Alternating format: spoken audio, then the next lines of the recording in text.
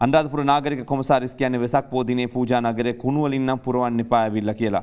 ඒ රුවන් විජේසිංහ මහත්මයාගේ නාගරික කොමසාරිස්වරගේ ප්‍රකාශය මව්බිම් පුවත්පතේ ගෙන්නේ වෙසක් වලට එන්න හැබැයි පරිස්සමෙන් කියලා. මේ අතර අනුරාධපුරයට එන සදහැවතුන්ට බැව් හා ජලාශවලින් දියනානුව නම් ප්‍රවේශම් වෙන්න කියලා අනුරාධපුර දිසාපති ජනක ජයසුන්දර මහතා ඉල්ලීමක් කරලා තිබෙනවා. පොසොන් එකටත් වෙසක් එකටත් බොහෝ පිරිසක් අනුරාධපුරයට එනවා. ඉතින් එනවනම් අනිවාර්යෙන් ඒ ගැන අවධානයෙන් ඉන්න කියන එක තමයි මේ සඳහන් කළ තිබෙන්නේ. අද දෙරන YouTube නාලිකාව. YouTube අද දෙරන දැන්ම සබස්ක්‍රයිබ් කරන්න.